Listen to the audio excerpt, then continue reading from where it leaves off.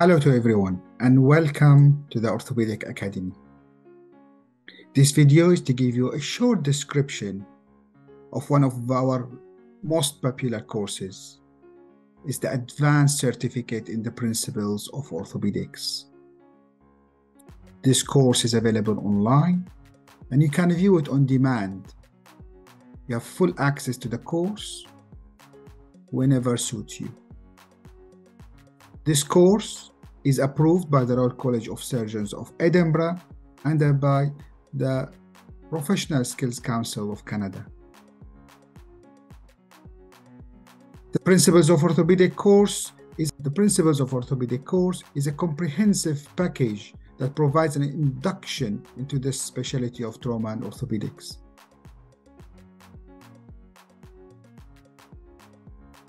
We will cover all aspects of this specialty.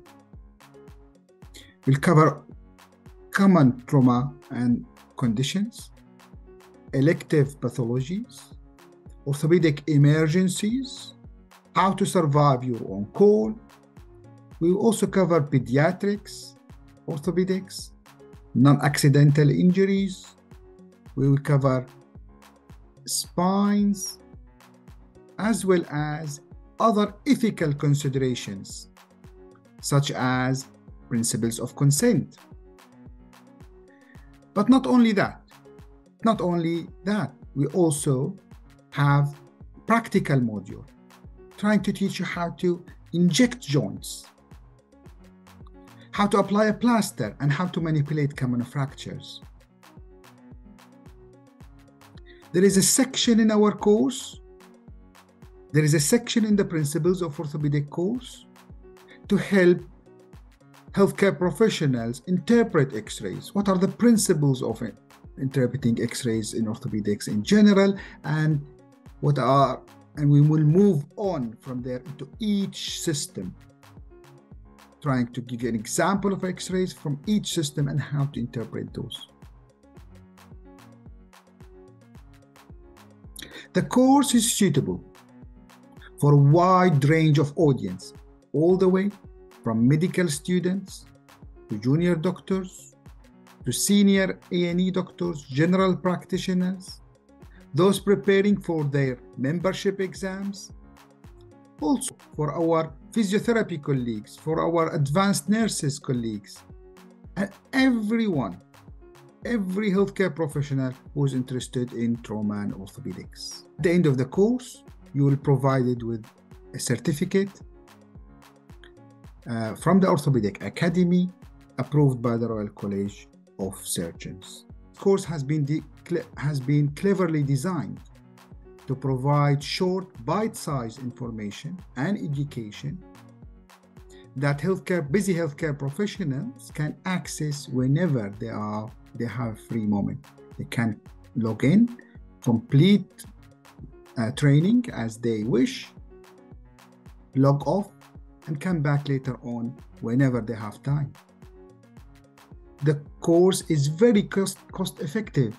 It's 25 CPD points. It's actually 50 hours of orthopedic education.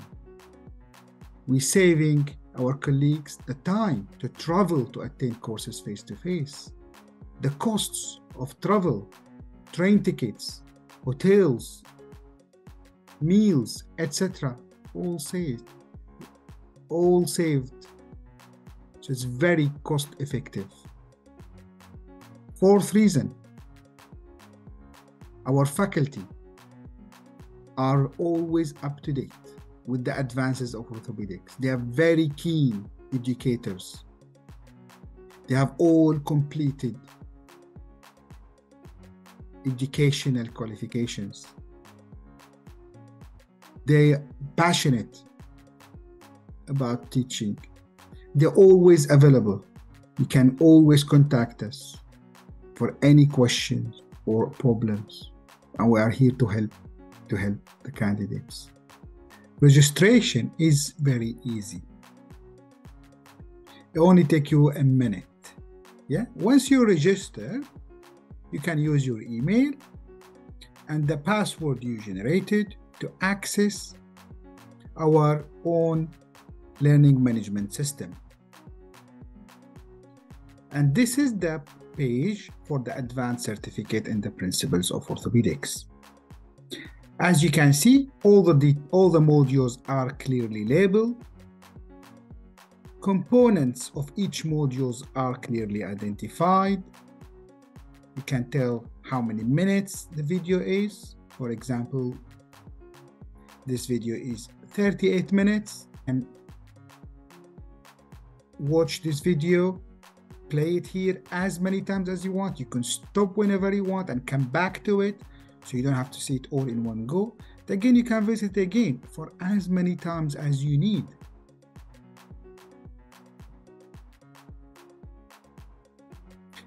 so you can see the components of each module. Here to the left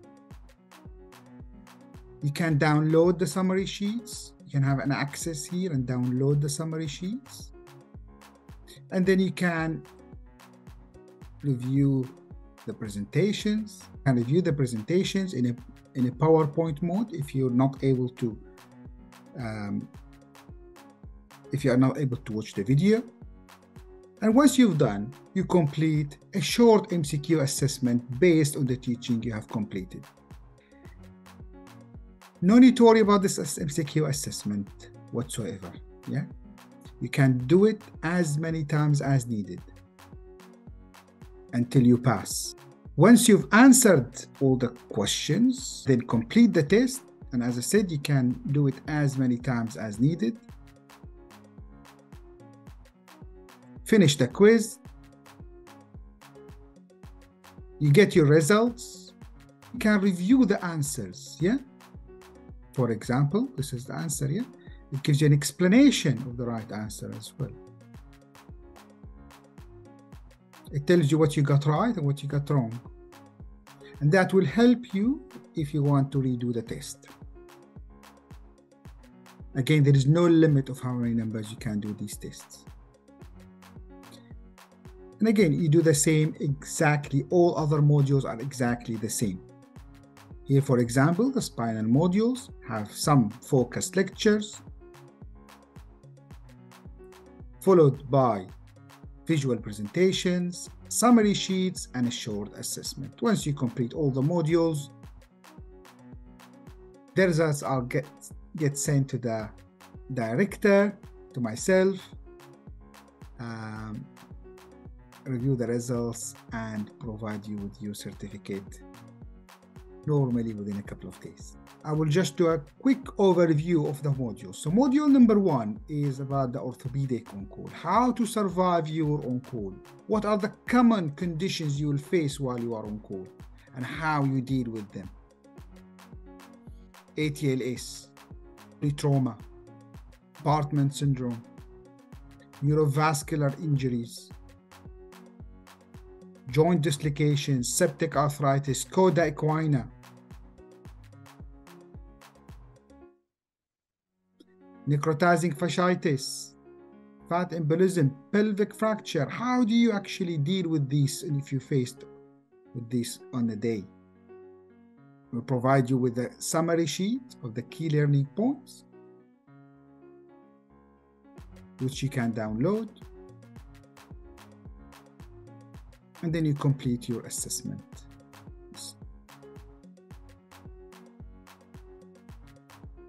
The second module is about, is about upper limb trauma and upper limb emergencies. Fractures of the upper limb, both in the adults as well as the pediatric population. Full comprehensive review of pediatric fractures.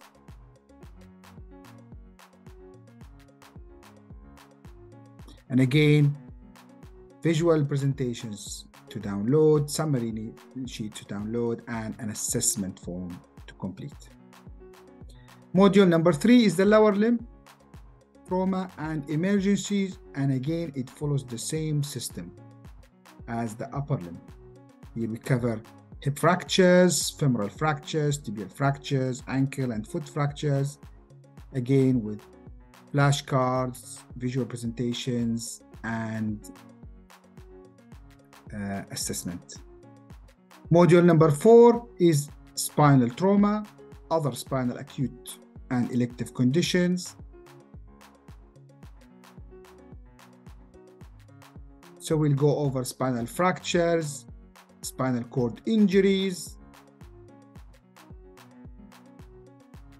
some of the other common uh, spinal conditions.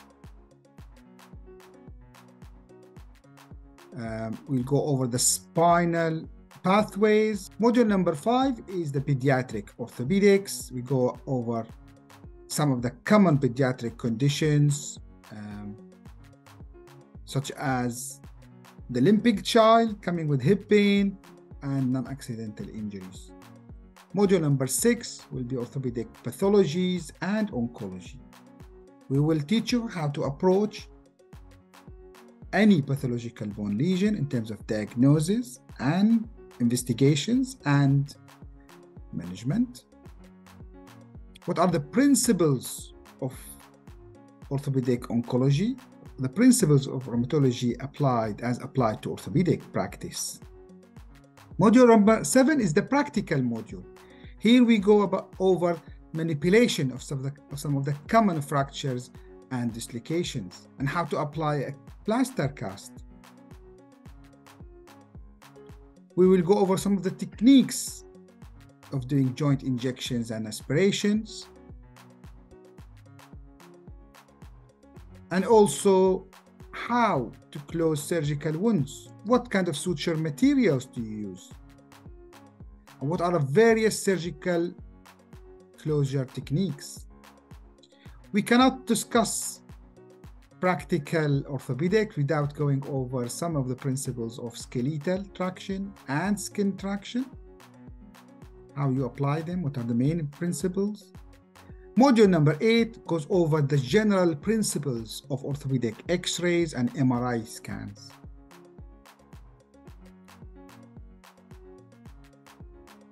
We will go over some of the common conditions, some of the missed conditions as well. We go through some case spotters, the general principles of how to read an X-ray, principles of how an X-ray is generated, and how also how an MRI scan is done, which will help you interpret those scans. Module number nine goes over the clinical examination of in orthopedics in upper limbs, lower limb, and the spine. Module number 10 is the elective module, but with the elective upper limb conditions. Those include condition causing shoulder pain, elbow pain, and hand and wrist pain. Then we'll move on with the same principle to the lower limb conditions. What are the lower limb conditions that can cause pain? Hip, knee, foot, and ankle pain.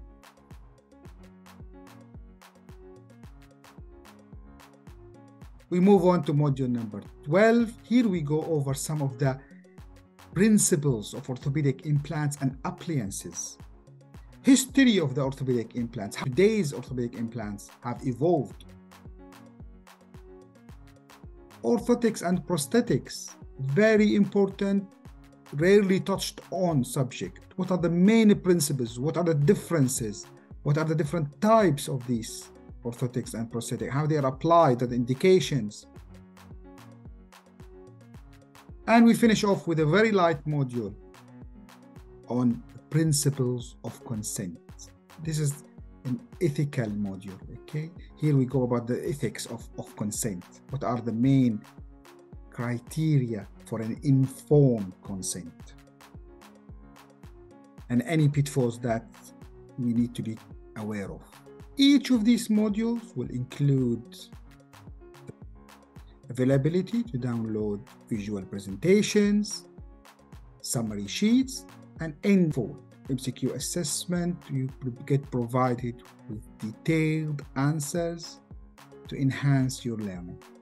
This course is comprehensive, it's the only one of its kind, and we hope to see you all uh, with us very soon. All the best. Thank you.